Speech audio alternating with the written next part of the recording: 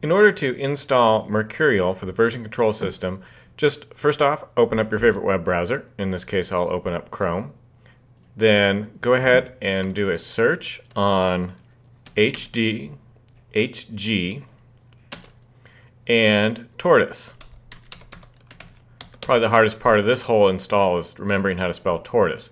Once you've done that, it'll take you to the Tortoise HG webpage, HG being short for Mercury. And here we want to do the download. Download link, easy to find. I click on this. And you'll find the download down here in the left hand corner of your web browser as it brings it down onto your computer.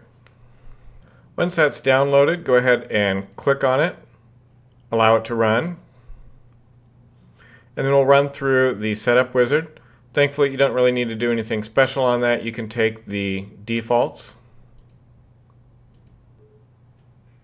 Go ahead and allow for the user access control.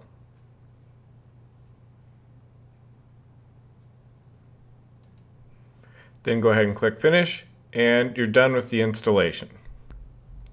Once you've done the install, you can check to make sure that it's worked by right-clicking with your menu, and then you should get options for HG Workbench and Tortoise HG. There should be a whole sub-menu for that.